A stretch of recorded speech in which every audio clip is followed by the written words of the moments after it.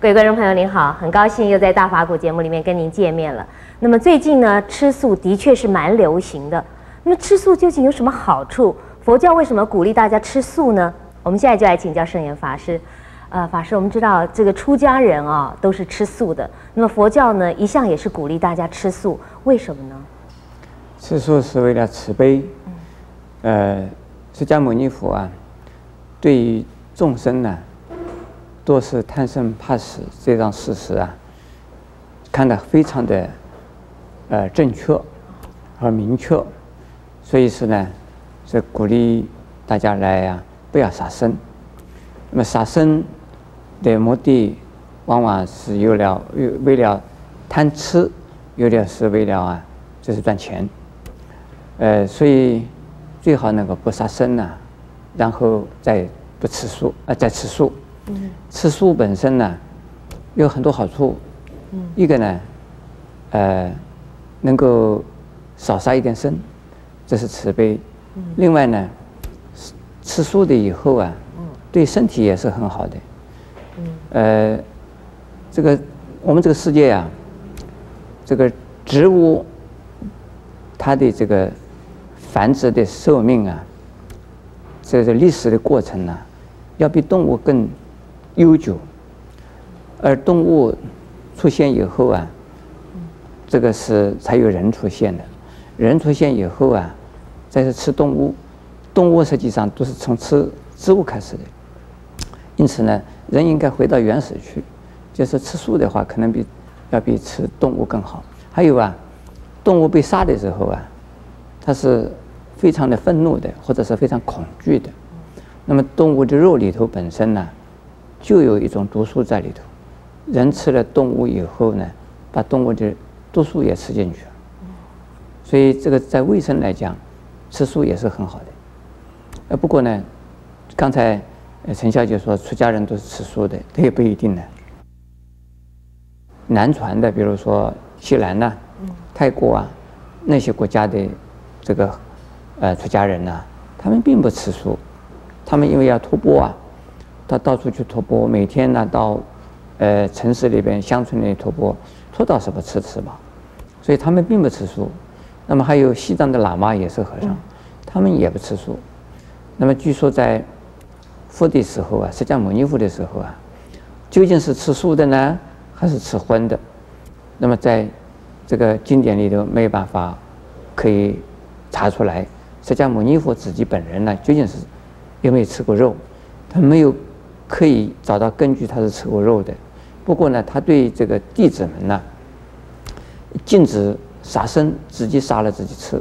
那么有三种叫做三种禁弱。什么叫做三种禁弱呢？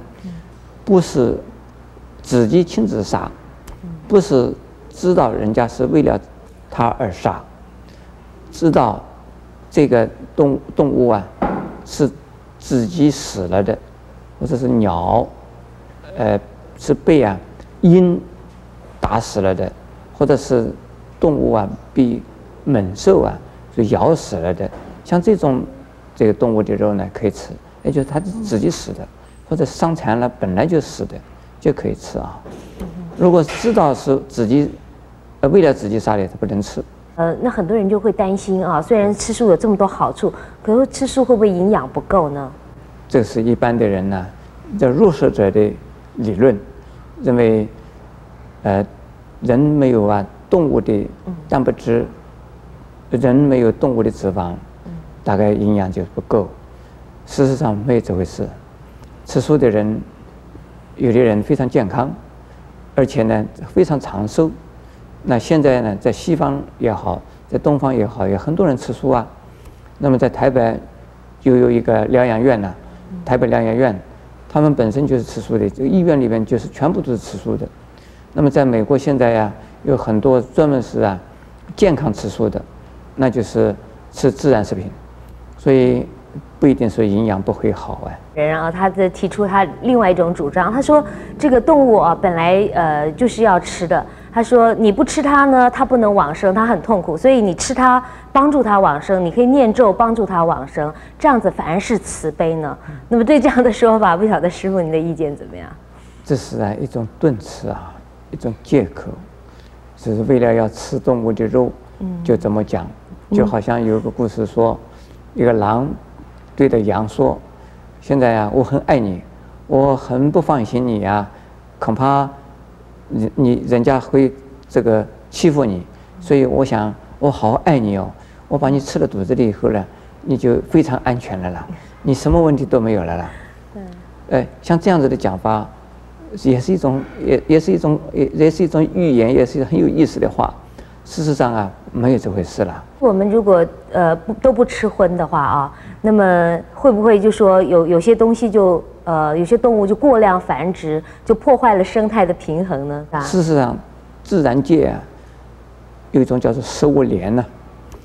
这个如果讲这种话的人呢，根本不懂啊，这个自然界的自然调节是怎么一回事了啦？自然调节它一定是啊某一种动物。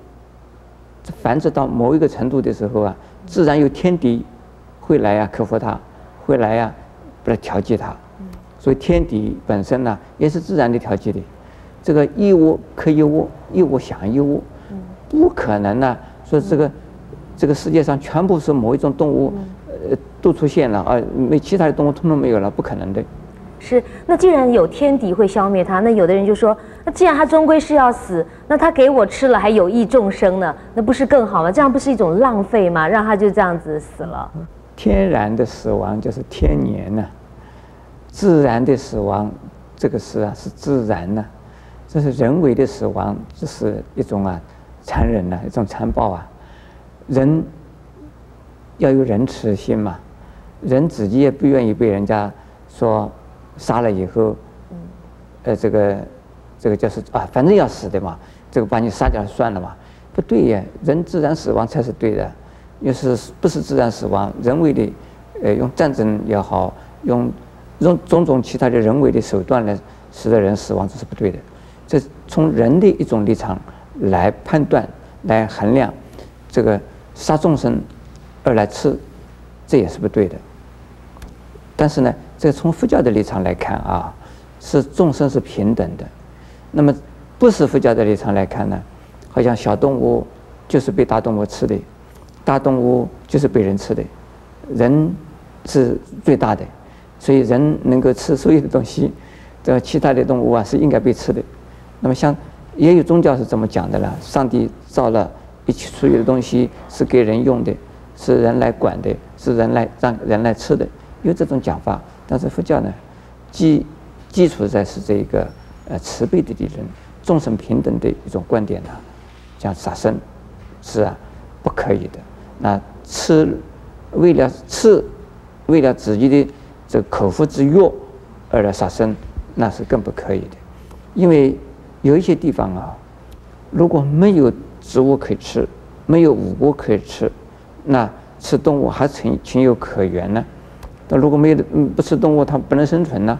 但是现在的文明的社会，这个植物也可以吃啊，五谷可以吃啊，水果可以吃啊，能够吃的东西太多了，那可以不吃动物，那比较更文明一点。